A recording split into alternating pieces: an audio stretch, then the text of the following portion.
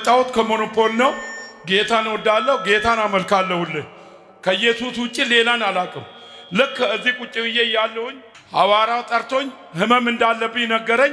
ለሐዋርያው እዚህ ጋር ያመኛል አልኩት። ወደ አሁኑ ቃል አወጣልኝ። ይኸው ነፃ ነኝ። ለጌታ ማን ነው ክብር የሚያመጣ? እንዲህ ያለ እኮ ነው አባ። በጣም ያመኝ ነበር ኩላሊቴን፣ እዚህ ጋር በጣም ወጥሮ ያመኛል። በጣም ሰቃይ ነበረ። ጠራኸኝ፣ ጸለይክልኝ። አንተ ከጸለይክልኝ በኋላ በሽታ የሚባል በእኔ የለም፣ ተፈውሻለሁ። ጌታን አመስግኑልኝ ይላል። ጌታን አመስግኑለት። እንደዚህ ያለ ባለፈው አባቴ እዚህ ቆሞ በዚህ ወር እዚህ የገባችሁ ማንም ቢሆን በእናንተ ቤት ድንገታዊ ሞት አይሆንም፣ እርግጠኛውን የነግራቸው አመቱ ውስጥ ሞት አይሆንም ብለ አወጅ። በጣም የሚገርመው ነገር ይሄን አዋጅ ሰምቼ ቤት ሲሄድ ወንድሜ ከፖል ላይ ወደቀ። ከፖል ከኤሌክትሪክ ፖል ላይ ወደቀ። ከወደቀ በኋላ ሆስፒታል አስገቡት። ራሱን አያውቅም። በሞት ህይወት አፋፍ ላይ በቃ ሞቷል ተባለ። በጣም አይሰማም። ዝም ስልኩን ብቻ ጆሮ ላይ ያስቀምጡ። ሐዋርያው እንደዚህ ብሎኛል ዛሬ ጠዋት እንደዚህ ብሎ አውጇል። በእናንተ ቤት ሞት አይሆንም።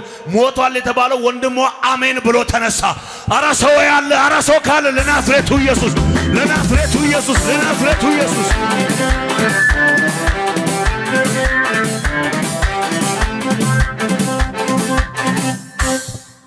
ደስ ያለው ማን ነው? ለጌታ እልልታ ጭብጨባ እንደገና የሚያመጣ እንዲህ ትላለች። ልጄ የሽንት ቱቦ ላይ ኢንፌክሽን ነበረ።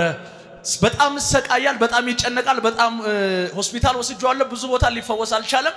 ገሳውስ አንተ ጋር መጣው፣ ዘይት ሰጠኸኝ፣ ወስጄ ቀባሁት። ወስጄ ሳስመረምረው ምንም የለበትም ነፃ ነው ተባለ ይላል። ለጌታ እስቲ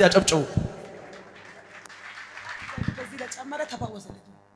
እሱ ገሳው አስገባው ዛሬ 15 ቀን ማለት ነው።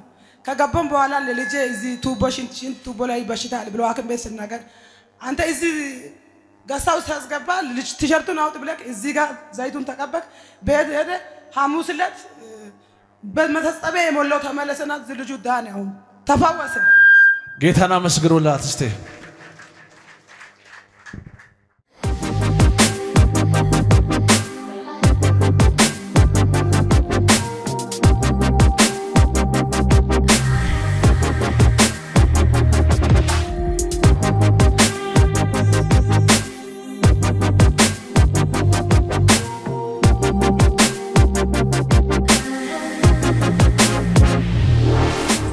ከባድ የሆነ የኩላሊት ህመም ለረዥም ዘመን ነበረብኝ። ከዚህ የተነሳ ደም ነው ምሸናው ደም ነው ምሸናው እና በጣም የሚገርመው ነገር ሐዋርያው እንደዚህ ያለ እድሜያችሁ ከአርባ አምስት በላይ የሆኑ አባቶች ወደዚህ ነው አለ። እዚህ ጋር መጣና ዘይት ቀብቶ ሰላም ሆኗል አለኝ። ለረዥም አመት ሙሉ ደም የሚያሸናኝ ያ የሚያመኝ ኩላሊት እሱ ዘይት ከቀባልኝ በኋላ ሄጄ check ሳደርግ ንጹህ ሽንት ከረዥም ጊዜ በኋላ ደም የሚወጣው ቆሟል። አረባካችሁ ለናዝሬቱ ኢየሱስ ለፈወሰው አባታችን ለፈወሰው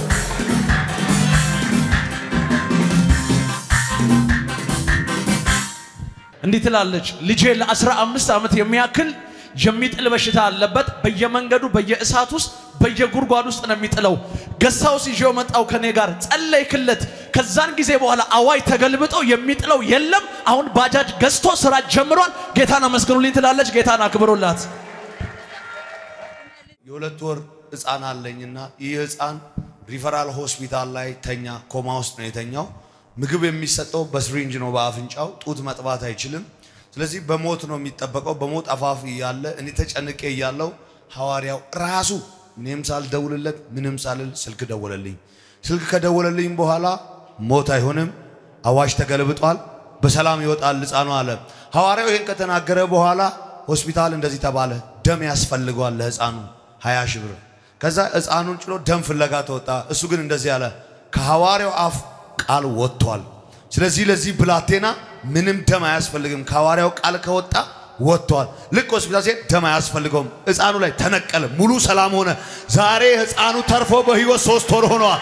አሁን አጠቃላይ የአምስት ወር ህፃን ሆኗል። ሰው ሁሉ ላዳነው ለናዝሬቱ ኢየሱስ በሐዋርያው አልፎ ለሚሰራ አራባካችሁ ለናዝሬቱ ኢየሱስ ለናዝሬቱ ኢየሱስ እሰይ እንግዲህ ስልክ የደወልኩ አንተ ነህ። በስልክ አገልግሎት እሱ ስልክ ደውልልኝ አላለህም። ምንም አድራሻ አላስቀምጥም። አንተ ራስህ ደወልክ፣ አንተው ራስህ ጸለይክ። ምን ተጨንቄ እያለሁ ሞት በቃ ይሞታል ተብሎ already አይተርፍም፣ ይሞታል፣ አንተ አይጠቅምም ተብያለዋል። ግን አንድ ስልክ ደወልክ፣ እንደዚህ ያልክ አዋጅ ተገልብጧል፣ ሰላም ይወጣል። አንተ ይሄን ስትል አይ ደም ያስፈልገዋል አሉ። አንተ ከጸለይክ በኋላ ወዲያው ደም ያስፈልገዋል አሉ። እኔ እንደዚህ ያል ቃል ወጥቷል። ሁለት ነገር አላደርግም፣ ግን ብር አቀረቡ። በአምቡላንስ ይዞኝ ወደ ሌላ ከዛ የሚገርመው ነገር ካደረሱኝ በኋላ እንደዚህ ያለ ደም አያስፈልገውም፣ በሰላም ብላቴናን ይዘህ ተባለ። ዛሬ እግዚአብሔር ልጄን ሞቷል ተብሎ በዶክተር አዋጅ የታወጀውን እግዚአብሔር አሳቅፎኝ ልጄ ቤቴ መጥቷል ይላል። ሃሌሉያ እሰይ። እንኳን ጌታ ረዳክ፣ እንኳን ጌታ ረዳክ። ደስ ይላል። ልጅ ያለው ሰው ነው የሚያውቀው። አሁን ደስተኛ ነህ? በጣም ደስተኛ ነኝ። ልጅ በህይወት አለ? በጣም የአምስት ወር ልጅ ነው። በጣም የዛን ሰዓት እኔ በጣም ተጨንቄ በጣም ታሞ አዶላ ጠቅላላ ሆስፒታል በጣም ታሞ በቃ እኔ ይሞታል ነው። አሁን ይዞ ለምን አይሄዱም ነው? ሰው አሁን የሚለው ይዞ ወደ ቤት ለምን አይሄዱም ነው የሚሉ ከኛ በኋላ። ለምን? ባለቤቴ ውጪ ቁጭ ብላ እሷን የማያውቁት እኔም ብቻ የሚያውቁኝ። ሞቷል እኮ በቃ ለምን አይሰጧቸውም ይላሉ። እና እዛ እንደዛ እያለን ልክ አንተ ከጸለይክ በኋላ ድጋሚ ደግሞ platelet የሚባል ደም ያስፈልገዋል ተባለ። ይሄ ደም ያስፈልገዋል ሲባል ምን ማድረግ አለብኝ ሲባል እሺ refer ይር ተባለ። አሁንም ድጋሚ ማለት ነው። ሪፈር ይር ሲባል እኔ ቃል ወጥተዋል። መጀመሪያ የዛን ቀን ያልሞተ ልጄ ምንም በቃ ቃል ወጥተዋል። ከሐዋርያው ቃል ስለወጣ ምንም እኔ በቃ ምንም እንትን አይልም። ሰው የሚለውን ነገር ደግሞ ማድረግ አለብኝ የሚለውን ሪፈሪም ከተባለ እልኩኛ እሺ አልኳቸው። ከዛን ይሄ ነገር ደግሞ እዚህ ተደውሎ ሲጠየቅ ይሄ ደም የለም ተባለ። እዚህም እዚህ ሆስፒታል ሀዋሳማ ሆስፒታል ማለት ነው። ከዛን አዳማ በቃ እሺ አምቡላንስ ይዘጋጅና ለአምቡላንስ ነዳጅ ሙላና ሄዶ ያምጣ እንተባበር አሉ። እሺ ችግር የለውም ይሄም ደም አይሰጥም ይምጣ በቃ እኔ ችግር የለውም ይምጣ አልኩና ልክ አምቡላንሱ ማክሰኞ ሄዶ ሮብ ተመልሶ ሲመጣ ያ platelet ደም ወርዶ ነበር። በጣም ወርዶ በነበረበት ሰዓት ልክ ሮብ ዕለት ደግሞ እነሱ ሳይመጡ ደም ምርመራ ይደረግ ተባለ። ምርመራ ሲደረግ በጣም ወርዶ የነበረው ጨመረ። ከዛን አይሰጥም እኔ ዝም ብሎ የሚመጣው ይምጣ አልኩኝ፣ ዝም አልኩኝ። ልክ ደሙን መጥቶ አልተሰጣም። ልጃችንም በሰላም እንትን ይዘን ወጣን። ለምስጋና በ- እዚህ እንገኝ ተባባል። እንደዛው ያው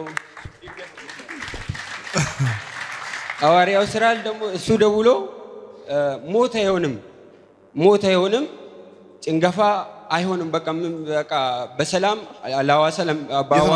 ሐዋሳ ኑሮ የት ነው አንተ? አዶላ ከዛ መጥተህ ነው አሁን? አሁን እንደ ድንገት አሁን ትላንት ነበር እዚህ የመጣሁት ኢየሱስ ጌታ ነው። ስለ እሱ ጌታ ይባረክ። አሜን። እንኳን ጌታ ረዳ። የልጅ ሰላም የጸና ይሁን፣ አሜን የጸና ይሁን፣ አሜን ይሳካልህ። አሜን ውለት አሜን ስፋ። አሜን እጃችሁን ከፍ አድርጉ። እግዚአብሔር ያለቀውን ነገር ይቀጥላል። አሜን። ያለቀው ነገር ይቀጥላል። ይቀጥላል። እስቲ ያለቀው ነገር በሰለ ያለቀው ነገር እግዚአብሔር ይቀጥላል። እግዚአብሔር ይቀጥላል።